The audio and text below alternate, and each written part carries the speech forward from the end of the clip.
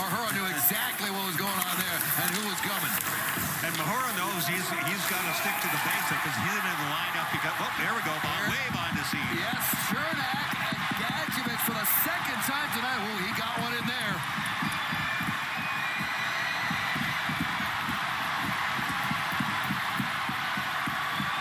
Yeah, this is back in the lightning zone when the puck was down in Florida's end.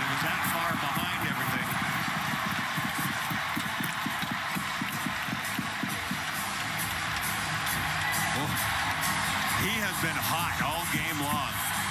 Cernak has. He's been really PO'd the entire game, and you can see it's not stopping there. He wants a piece of anybody right now.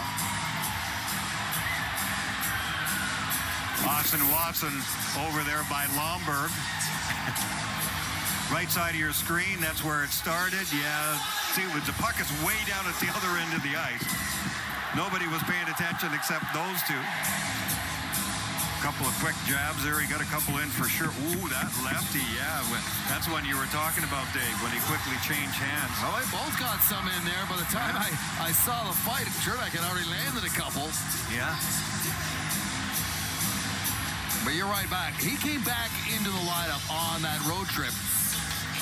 And since then, he's played six games, Brian. He's got five hits tonight, so 27 hits in his six games back. It's great to have that